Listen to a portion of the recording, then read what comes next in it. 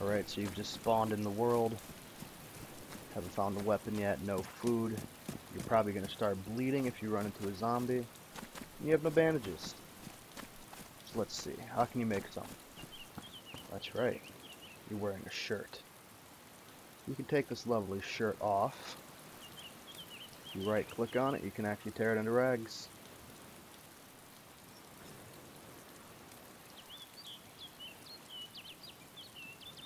Stackable rags of six, and they're as good as any bandage to stop bleeding as of now. Alright, there you have it. You can make rags and use them as bandages.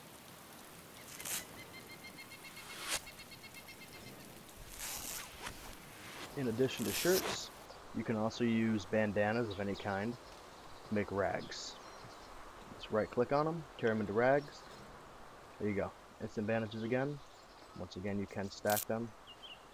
So bandages for any time you catch a stray bullet, stray bite, stray guys. Now I'm going to show you how to make a splint. The splints are actually crafted from making wooden sticks. Combining those with rags. You can craft splint from rags and wooden stick.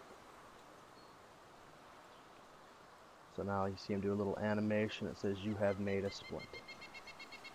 Primitive splint, but it can be used to cure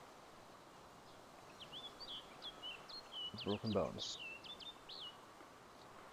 You see he's doing this lovely little thing where he's wrapping his leg up.